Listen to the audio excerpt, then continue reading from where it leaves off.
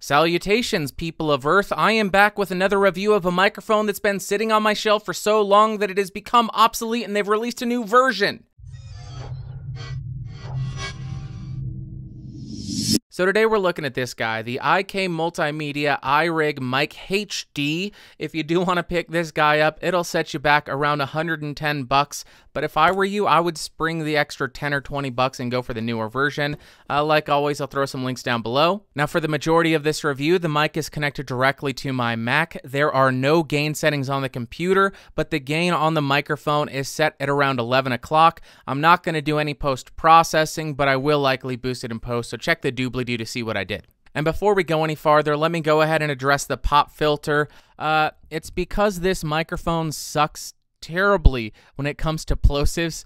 Every every single P or B just causes this thing to peak or clip, and it becomes unusable. So that's why I'm using this. Normally I don't, but otherwise this review would be unlistenable. Now let's go ahead and talk about what comes in the box. First, everything comes in this microphone pouch. You're obviously going to get the microphone. You get a microphone mount, which does come with a 5 8 to 3 8 inch adapter. You get a USB cable to connect it to your computer. You get a lightning cable to connect it to your iOS device. You get this little cable protector thing that screws onto the end of the microphone once you've connected a cable so it doesn't get tugged off. And you get some documentation.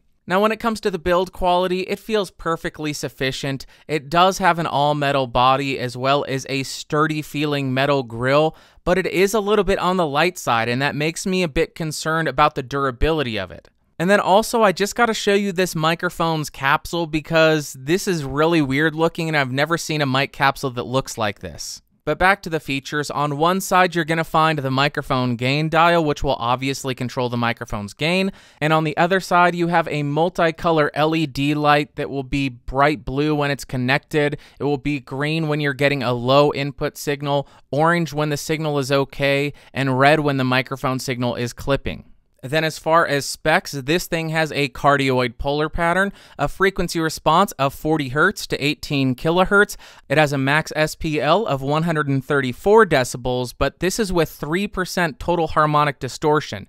Most other microphone manufacturers measure this specification at around 0.5% THD or 1% THD. So 3% THD, sure, it gives you a better SPL but you're going to be getting more distortion at that level. So I don't really trust that spec that much. But then it has a bit depth of up to 24 bit and a sampling rate of up to 48 kilohertz. So now I'm spinning around the microphone to 90 degrees to see what the off-axis coloration and rejection is.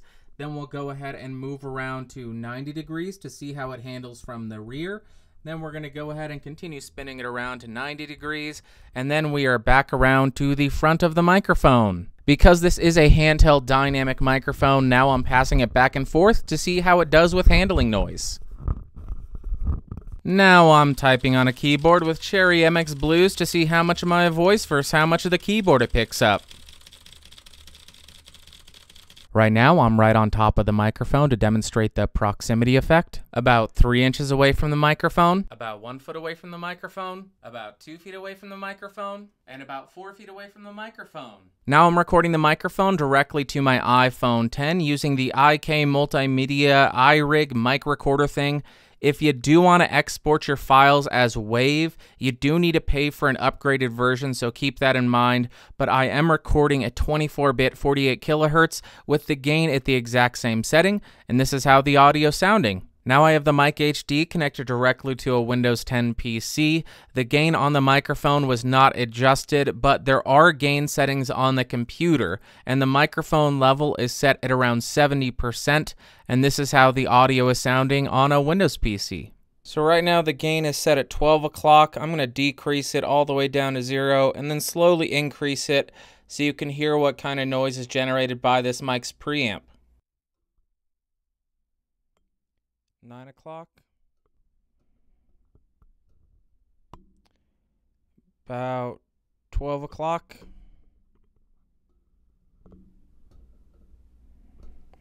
About 3 o'clock.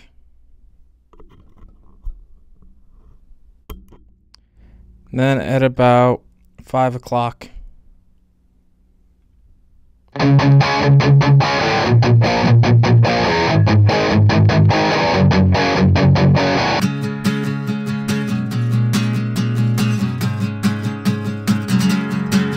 IK, the plosives are bad. The plosives, they suck. They're ruining every take. Well, all I can really say here is that it's a lightning slash USB microphone that does exactly what it says it's going to do. In terms of pros, this thing is just insanely convenient because it's compatible on Windows, on Mac, and on iOS over the Lightning cable. I'm not sure if it's compatible with Android or if it's compatible with Linux, but just those three operating systems makes this a very convenient and pretty usable microphone. I also really like the fact that this has an HD analog to digital converter, meaning that it records at 24 bit up to 48 kilohertz. And lastly, it doesn't sound like it's a presence boosted microphone, so what you're recording should be more accurate to life.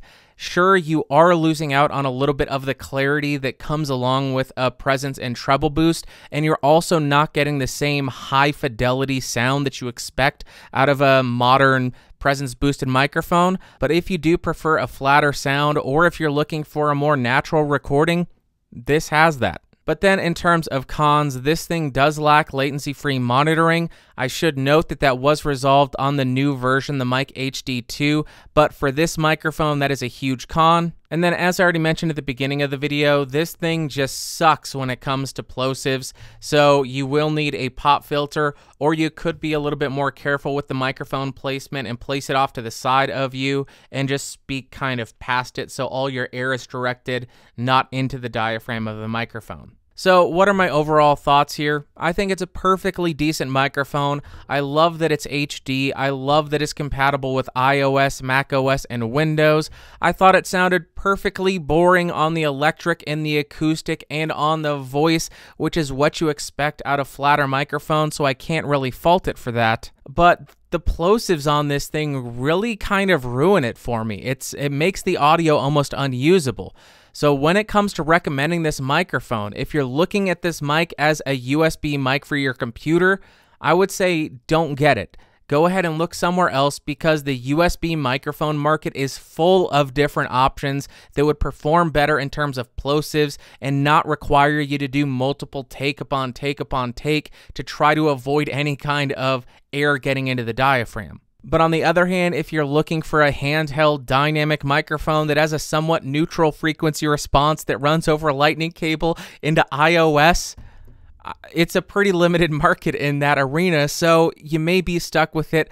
Obviously, I'm going to tell you to go with the Mic HD2. I don't know how that sounds in comparison to this, but if I were you, I would go with that because you are getting latency free monitoring and hopefully they fix the plosive issue. Alright guys, that's going to do it for today. If you enjoyed the video, go ahead and give me a thumbs up. If you hated it, thumbs down. If you want to influence what I review, geeksrising.com slash podcast and go cast a vote there. Go vote for the microphones you want me to review.